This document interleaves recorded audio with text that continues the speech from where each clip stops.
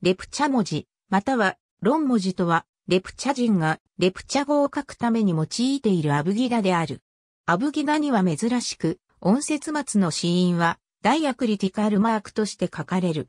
レプチャ文字は、チベット文字から派生し、おそらく、ビルマ文字の影響も受けた。伝承によれば、18世紀初頭に、シッキムのチベット系王朝のファイアグダーノングヤル、王子によって、または17世紀にセクメンソロングという学者によって発明されたとされる。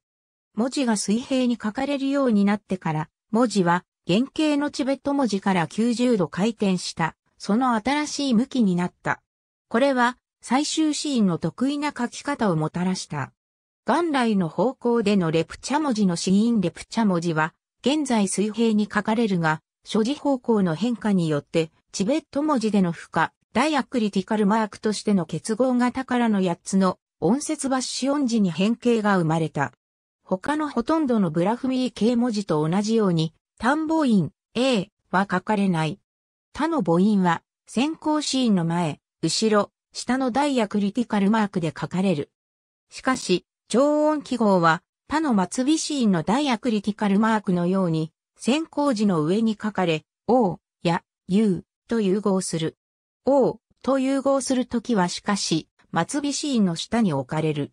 先行母音は独立した字を持たず、アンドのような形のゼロシーン EN、ゼロコンソナントのダイアクリティカルマークで書かれる。中間の Y、R のための全値、ダイアクリティカルマークがあり、と結合されうる。中間の L は、しかし7つの専用の結合字がある。つまり、かの字と似ていない、クラのための特殊な字がある。グラだけが単純なダイアクリティカルマークで書かれる。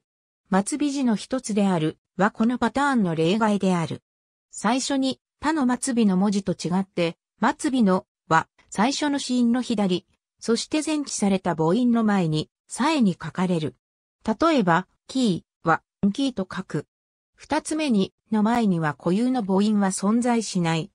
単母音の A、最古の状況特有のダイアクリティカルマークで書かなければならない。よって、こは通常のパターンで予測されるような KNG ではなく、んかと書かれる。レプチャ文字は2008年4月のバージョン5.1のリリース時にユニコードスタンダードに追加された。レプチャ文字用のユニコードのブロックは U プラス 1C00、U プラス 1C4 回である。灰色部分は割り当てがないことを表している。ありがとうございます。